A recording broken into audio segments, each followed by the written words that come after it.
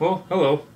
Um, I'm gonna make a video today about what to do with your 4AG about filtering the air. Because running open trumpets is, is fun, but when you're driving every day in dusty places, it's good to put a filter on it. So one of the filters that I used was uh, one of these uni filters. So one, one for each trumpet. Uh, it looked really cool, uh, but all of a sudden one day the car ran like crap and it wouldn't rev any higher than 6,000 RPMs. And I found it, it sucked in the inside filter and I even did the whole trick about, you know, getting them up high, but for me it ended up being a space limitation because you can see it ends up being a little tight up against the firewall. So the, the filter that I ended up finding was one made by Pipercross and I got it because it said that it could easily fit a 100 millimeter trumpet inside of it, and it's supposed to filter really well. Uh, but the big thing that I liked about it, if you look on the inside, it has kind of like a, a chicken wire in the inside, so it keeps the foam filter element away from the trumpet, even at full throttle, which the uni filters just couldn't do. Uh, it comes with a mounting bracket, and it's supposed to be, you know, just pull on and off.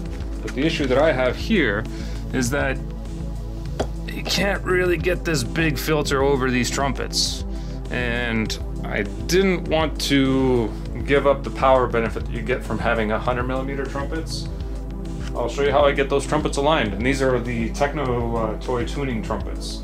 So those ones don't come with pre preset holes, so you have to align them yourself. So this is the tool that will make putting on the trumpets a lot easier and a way that you can actually make sure that the trumpets are on straight. Because there's no point in putting trumpets if they're not going to be aligned right.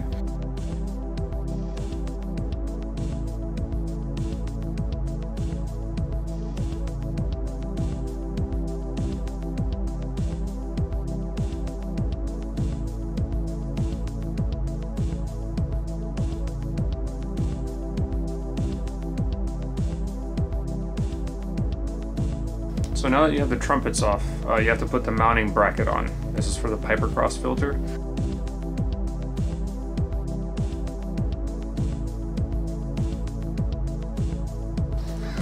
Now something important that you're going to want to do with the filter is to oil it. Um, this kit in particular came with the K&N oiling kit. So you just kind of spray it on and it helps catch some of the smaller stuff in the filter.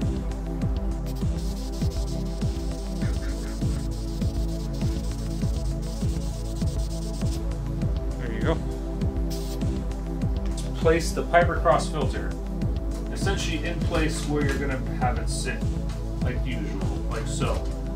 But what we're going to be doing is we're going to be slipping in the trumpets through the side in here, and then bolting them while they're within the filter. Now, without the inspection camera, this would be impossible to get the trumpets on straight. But since we have the inspection camera, you'll kind of get to see how that's gonna make it make things happen.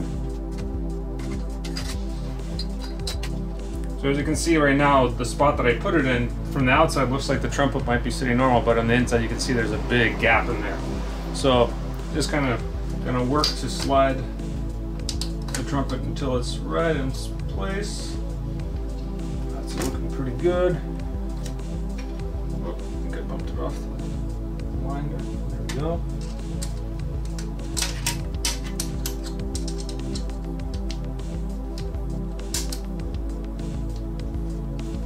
Tighten that up. Now if we look around the gap, it's nice and nice and tight with it. And then you just tighten the uh, the bottom, the top hole for it, the top bolts, and then keep going with each one. So we move on to the next one. And I will say it's it's nice to have handy a little five millimeter Allen key like this. It's small that can fit into the tight spaces.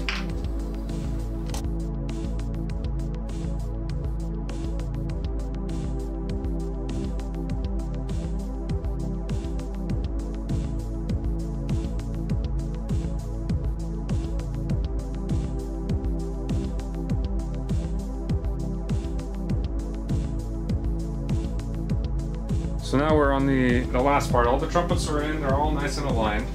Uh, with this Pipercross filter, you need to get the bottom clipped in first before you can clip in the top.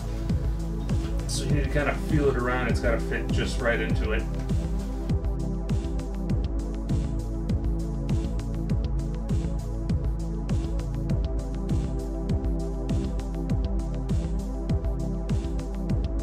So now the last move is you put these little clips on the bracket.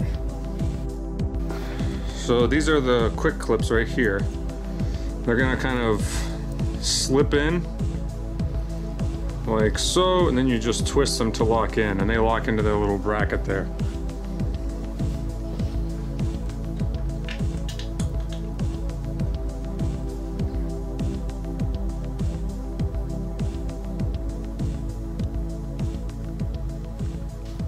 So there's the filter installed. Uh, it looks not as not as flashy and blingy as the the uni filters did, but I I drove in the uni filters probably about a thousand miles before finally like tore one of the inside filters out and became a problem. And I have to say like after 6,000 RPMs, you really could feel the engine getting choked out with these. And I've heard a lot of people say that too. Uh, these uni ones that they tend to limit flow just because there's not enough surface area on the inside with how much air that this engine's sucking in. So they look really cool, but I'm not sure that they work that well. So if you're looking for a filter, I'd say don't even bother wasting your time on these guys. These guys are for looks and they're probably going to choke your engine like they did with mine. But with the Pipercross, I'll say I can't even say if I feel a difference between running an open trumpet and running the Pipercross filter because there's a lot of surface area in there and, it, and that mesh keeps the filter element away from the trumpets so you get good airflow through it. And I've driven about 1500 miles on the Pipercross filter and it's worked like a champ. And if you use that trick with the inspection camera, you can actually get it on in this car. Uh, this would probably be similar to like the AE101 and the AE111 and the AE92. Uh, next video I'm going to do is going to be me changing out the VVT cam, uh, cam gear. Uh, mine's making a little bit of a rattle. Um, when the engine's cold I can feel when it's not kicking in. Uh, I can feel it when like it's not pulling and all of a sudden it engages. But I'm going to replace it with a brand new one. I got a hold of one from a company called Battle Garage. And we'll see if it makes it run even better because I replaced everything except that that was the one thing I wanted to just try and see if it was working okay or not, and turns out mine was probably bad like everybody else's. Okay, till next time.